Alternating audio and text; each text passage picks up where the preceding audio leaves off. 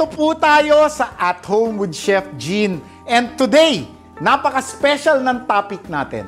Dahil tayo ay gagamit ng French press. Ito po ang bagong French press line ng Masflex.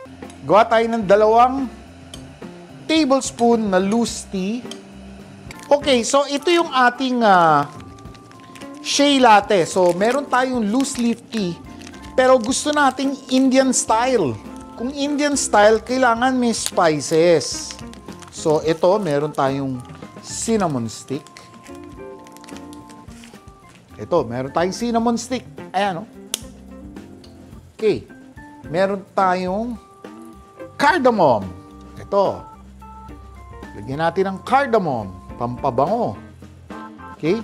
Pwedeng one or two. I think uh, I think one and a half, ayan, lumalabas yung seeds will suffice. Okay, lagyan natin star anise.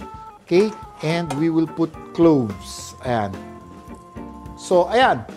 Cloves, star, star anise, cardamom, and cinnamon.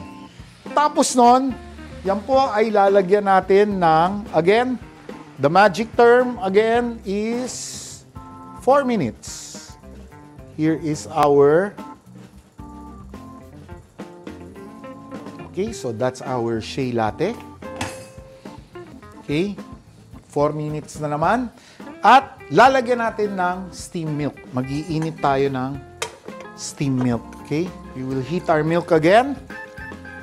And we will pump it and put air by using the French press method for frothing our milk.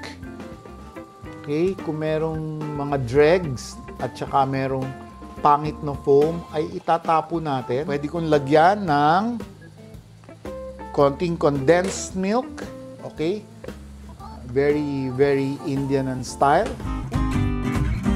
Okay, so here's our hot milk and we will just aerate it. Ito, nakita nyo, mababa. Tingnan nyo, aalsa yan.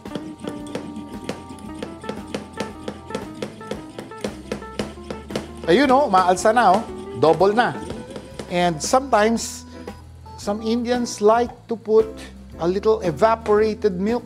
Here is our uh, tea with spices, with cardamom, cinnamon, cloves, and star anise. And igaganon ko na. And we will pour our shea latte. There you go.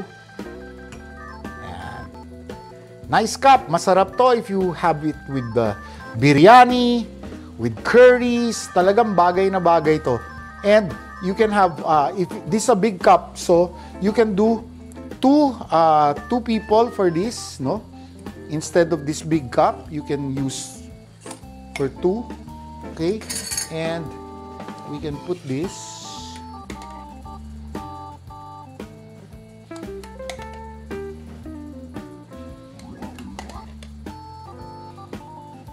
And this is your shea latte.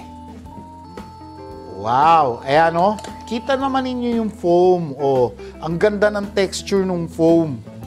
Alright? So, here is your spiced tea uh, latte. Remember?